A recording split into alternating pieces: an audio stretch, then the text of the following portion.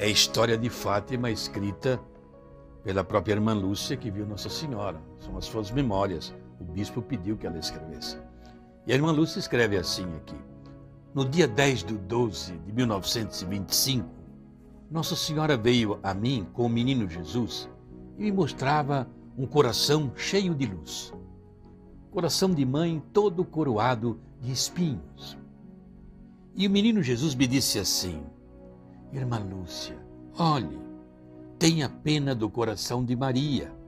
Ela é a Mãe Santíssima que tem o seu coração coberto de espinhos, que os homens ingratos a todos os momentos lhe cravam, sem haver quem faça um ato de reparação para aliviar estes espinhos. Em seguida, a Santíssima Virgem, dirigindo-se a mim, me disse assim: Olha, minha filha, o meu coração cercado de espinhos que os homens ingratos a todos os momentos me cravam com blasfêmias e ingratidões.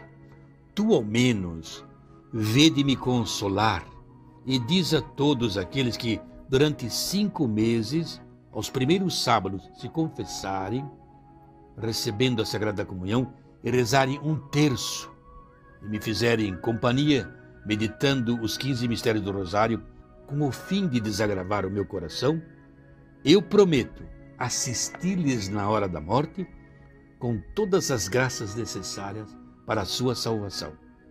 E Nossa Senhora explicou ainda que a confissão de reparação podia ser feita oito dias depois ou até mais, contanto que no primeiro sábado a comunhão fosse feita com o coração limpo de pecado grave.